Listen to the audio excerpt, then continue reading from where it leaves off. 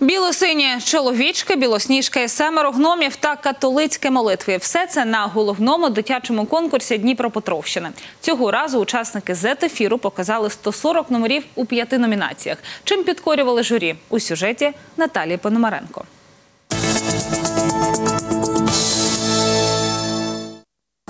Сьогодні «Зет-таланти» шукаємо у Кам'янському. Тут зібралася майже тисяча учасників. Що підготували? Ходімо дивитися.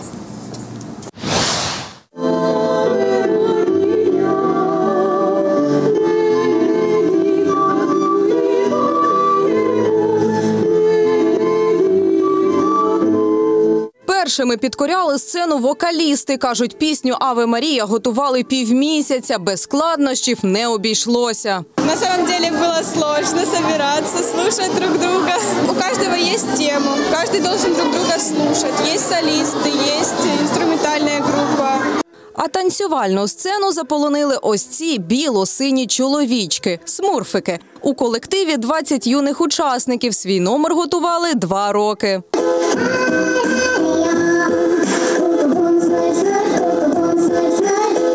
Масштабністю брали як тори. Сценку про сімо гномів та білосніжку зіграли 15 дітей.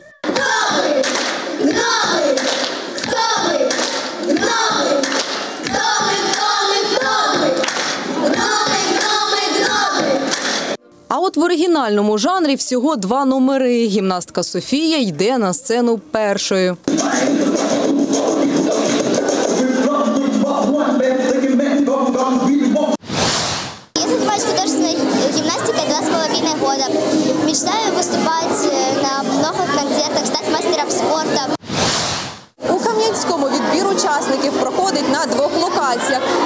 Танцюють, співають, показують оригінальний жанр та акторську майстерність. У іншому місці грають на музичних інструментах. Ходімо, подивимось.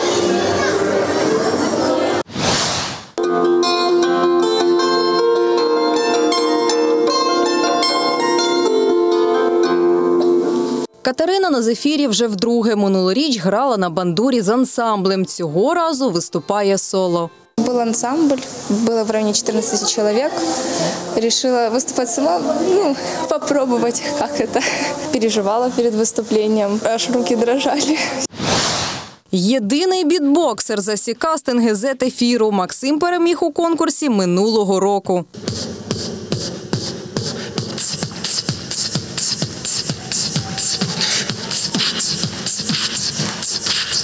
Сьогодні ж хлопець оцінює вокалістів за своїми критеріями. сила голоса, э, чистота голоса и э, костюм, и соответствует ли песня исполнителю. То есть, если, допустим, шестилетняя девочка возьмет океан Эльзы, но это будет как-то не очень, поэтому с ней- ей списываются баллы. Вже деяким учасникам ми перші місця дали, і тепер вагаємося, кому ще дати, бо шкода, що мало перших місць. А учасників у півтора разу більше ніж торік, аж 30 тисяч. По-перше, це розвиває талант.